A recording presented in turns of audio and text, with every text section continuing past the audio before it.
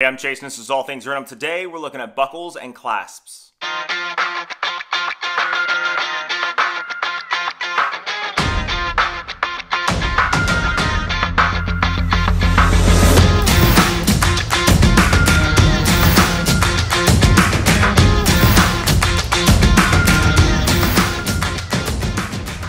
Now, before we hop into the video, hit that subscribe button down below. Leave a comment of the content you guys would like to see on this channel. I've done a dedicated video to watch straps in the past. This is strictly for buckles and clasps, especially in this new world of only online shopping. Now, this is particularly important when it comes to vintage style watches like older Rolex Submariners. Again, I explain it in the video. So without any further ado, let's just flip the camera around and hop right into it. Okay, so I did a video just on straps. I figured this time I would do it on buckles and clasps because some people may not know what a tang is, some people may not know what a buckle is, and some people may not know what a clasp is and what your options are when you're looking online and you have no idea what something means. So we're just going to go over some nomenclature. I'll go over some old school stuff, some new school stuff, and some cool stuff like on the Starking right up there.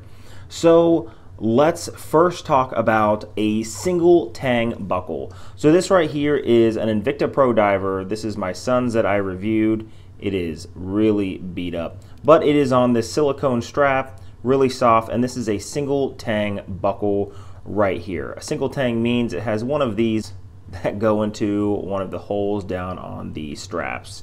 So that's a single tang like my Hamilton right here. This has a double tang and the really cool thing about the Hamilton is, well, it's an H just like Hamilton. So I thought that was pretty cool advertising, pretty cool design, especially when it comes to their thing. You know that it is a stock strap, which this is the second stock strap I've owned for Hamilton. Very expensive straps which is sort of a downfall, which is why I may not ever buy one again. But this double tang allows it to hook into the two holes on the other side. I think it just looks really cool. Now, first, before we get to the Starking, let's talk about this Tissot Seastar. So this Tissot Seastar is reminiscent of the old Submariners pre-2010, so 2009 and before. They used to have these press clasp with the Oyster bracelet. And I thought it was just a poor thing for Rolex to do because I feel like they could have done better, even for the time. We're talking all the way up to 2008, 2009, before they introduced the Glide Lock clasp right here and the really cool Sea Dweller right here that I'll show you in just a minute. Now, why do I not like this? Some people like it, some people don't. Well, that's because this is a press clasp design. Now, what is a pressed clasp? A press clasp means they take a single piece of steel, extremely thin, and they just press it into or stamp it out, if that makes it any better. They stamp it out into sort of this design. And it's not a single piece of steel, it's not milled out. And again, here's the T for Tissot, and you can see that it's just let me get past this diver's extension. You could see that it's just pressed into the steel.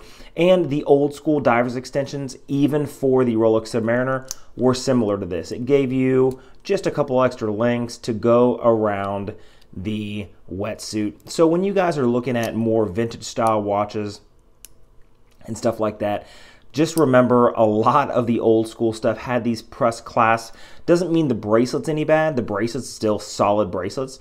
Um, however, the uh, the old school press clasp, this is what you'd be getting. So if you see those, now you know.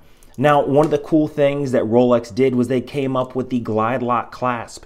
And a lot of people who've owned a Rolex will tell you that one of the key things about the six digit Rolexes is this glide lock clasp because it is just amazing. And this is what I'll tell you when it comes to these things. This is one of the things I love is the fact that they took a solid piece of steel and they milled this thing out. So you can see that the quality is just overall different.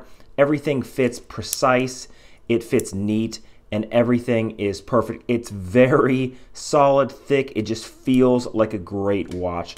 And the one thing that they introduced was the glide lock clasp here, which you pop open, see there's teeth in the back, and this just slides down.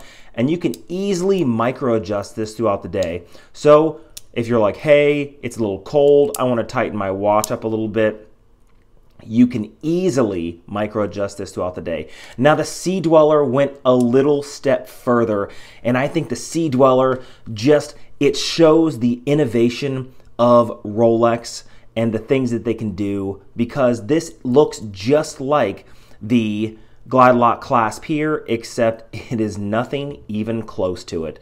So it may have the same similar aesthetic. However, pop the crown, pop this underneath, it looks very similar to the other one. However, the Glide Lock clasp, even though you see there's teeth in the back, is not like the Submariner at all. In fact, instead, you pop up the center here and then you adjust it back and forth. Now, I think that is just an amazing feat of precision and engineering because look at that. It just absolutely disappears into the bracelet. This just shows you like what Rolex was and really what they've become. I'm not saying Rolex was bad by any means before. What I'm saying is they could have done better with their clasp.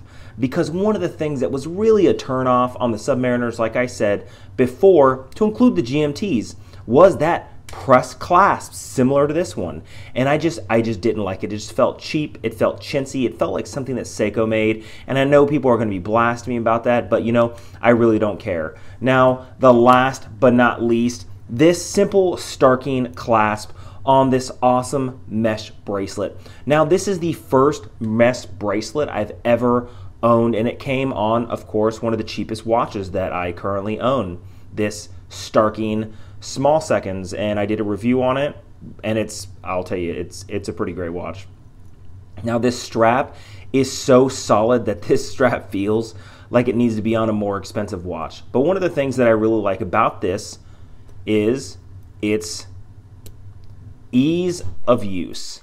Now right here, this is super simple. You see right here, this pops up and you can micro adjust this back and forth down the entire strap, which means you can get a perfect fit every single time. Using this friction lock, you need like a tiny little screwdriver just to pop that up, but it's super easy to move down.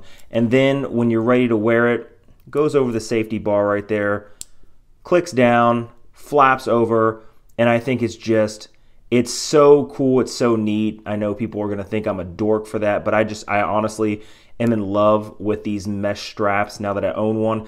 I'm actually going to get a mesh strap for a few of my dive watches, so stay tuned. Now that was just a super simple, quick video that shows you the difference between buckles and clasps and then shows you the type of quality when it comes to something like a pressed clasp or something like a milled clasp like the newer Glide Lock clasps. Now, if you like videos and videos like this, once again, hit that subscribe button down below. Leave a comment of the content you guys would like to see on this channel. So many videos coming up in the future. So make sure you hit that notification bell so you can be notified when I drop my next video. Until next time.